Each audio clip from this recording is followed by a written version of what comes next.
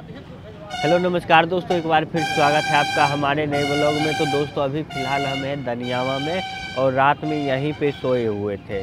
पिछले ब्लॉग में देखे थे और इससे तबीयत अभी ठीक नहीं हो रहा है। सर्दी, जुकाम, बुखार, ये बढ़ते जा रहा है। और अभी आज शूट करने के लिए हम आए हैं ये प्रेम सागर होटल है। यहाँ पे हर तरीके का मछली मिल जाता है और बहुत दूर दूर से लोग खाने के लिए आते हैं। इसका ब्लॉग आपको उस चैनल पे देखने को मिलेगा। तो चलिए देखते हैं क्या सब यहाँ पे होता है। तो चलिए ये देखिए, यहाँ पे मछली का प्लेट लग गया है। इतना भीड़ है यहाँ पे मछली खाने के लिए गजब का। तो मछली खा रहे हैं। ये देखिए मछली का पीस कितना बढ़िया है। खाने में बहुत मज़ा आ रहा है। यहाँ पे सारा मछली मिल जा रहा है। जो मछली आप खाना पसंद करते हैं सारा का सारा और इधर देखिए ये पीस। झींगा हो गया ये फ्राई मछली हो गया सारा छोटा मछली इसमें है। ये गरम गरम खाने में बहुत मज़ा आता है। ठीक है। हम्म, देखिए देखिए मैं चलिए खाते हैं।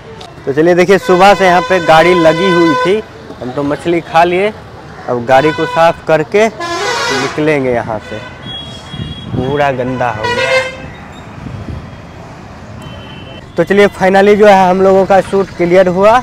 मछली खाए यहाँ पे, बहुत मज़ा आया खाने में। भीड़ इस लेवल का था, मज़ा आ गया। हज़ारों लोग यहाँ पे खाने के लिए आ रहे हैं। यही है दनियामा देखिए। सिंगल रोड है, और इसमें जाम बहुत ज़्यादा लगता है। तो यहाँ छोटा सा स्टेशन था इधर। बस स्टेशन के टिकट काउंटर के सामने ही था प्रेम सागर होटल। आपको थोड़ा सा शॉर्ट दिखाते हैं। देखिए, किस लेवल का यहाँ पे भीड़ है। देख रहे हैं। पूरा के पूरा लोग यहाँ पे भरे पड़े रहते हैं मछली खाने के लिए।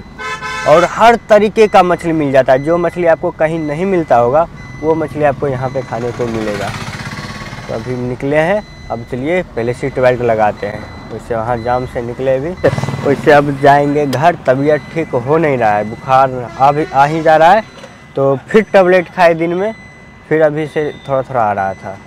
तो दो दिन रेस्ट कर लेंगे घर पे तो सही रहेगा। रेस्ट करके फिर बाहर हम लोग निकलेंगे।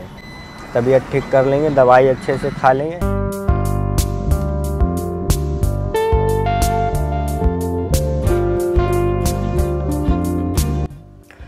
फाइनली 100 किलोमीटर गाड़ी चलाने के बाद देखिए फ़र्स्ट टाइम हम जाम में फंसे, वो भी लंबा जाम लगा हुआ है। लगभग आधा किलोमीटर पहले से ही आगे है सिमरिया पुल।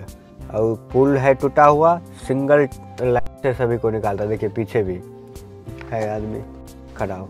और अभी तो जाम लगते जाएगा जब लगते जाएगा। जब तक उधर का गाड़ी क्लियर होगा, तब फिर इधर का गाड़ी निकालेगा।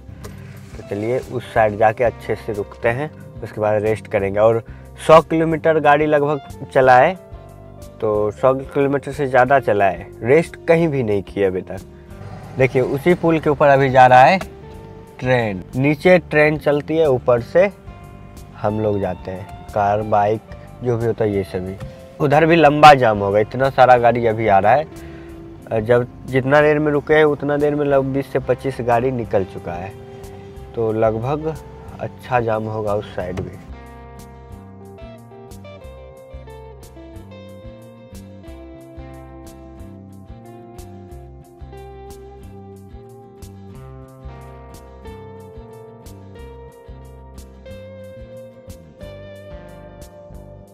तो चलिए लगभग 20 से 25 मिनट बाद जाम आगे का खुला और पीछे देखिए। पीछे देखिए कितना बड़ा जाम है। बहुत दूर तक पीछे लग गया होगा क्योंकि पाँच मिनट में कम से कम 20 गाड़ी पीछे जाम हो गया था। तो चलिए अब चलते हैं। next right to stay on National Highway 31. तो ये देखिए आगे यही है सिंगल रोड। यहाँ पे एक साइड से ही लोग जा सकता है यानी कोई भी गाड़ी जा सकता है। उधर काम चल रहा है, टूटा, पुल टूट गया इधर। उधर न्यू पुल का काम चल रहा है और इस बीच में जो बंद है, जब वो पुल चालू हो जाएगा, भयंकर वाला फोर लाइन का पुल बन रहा है तो उस पर हम लोग चलेंगे और इधर देखिए काम चल रहा है। इस पुल का भी काम चल रहा है, लेकिन छोटे गाड़ी के लिए। छोटे छोटे गाड़ी जो ये सभी अभी, जब तक वो चालू नहीं होता है, तब तक इससे जा सकते हैं। अभी तो उस पुल को चालू होने में लगभग दो साल और लगेगा, जैसे काम चल रहा है, जिस हिसाब से दिख रहा है अभी।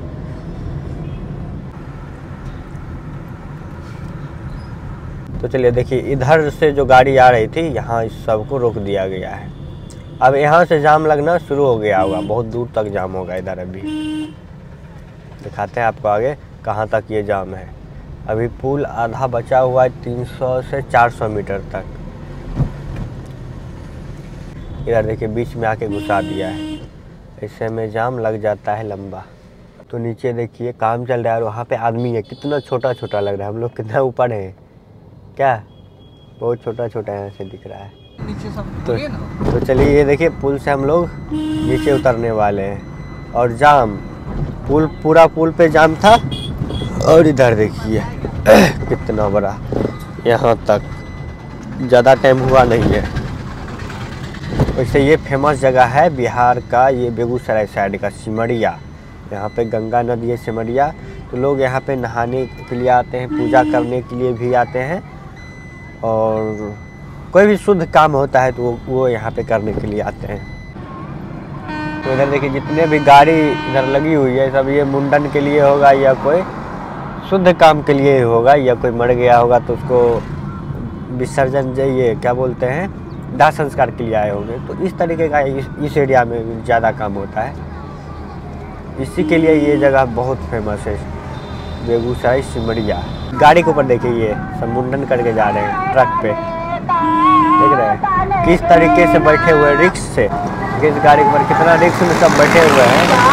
और गाड़ी फुल स्पीड में सब चला रहा है। और यहाँ देखिए ये देखिए कितना रिक्स में चल रहे हैं। और ट्रक में तो शॉकर रहता नहीं है, पूरा स्पीड लगता है वो। बहुत खतरनाक खतरनाक लोग हैं हमारे बिहार में भाई साहब। फिर से जाम लग चुका है।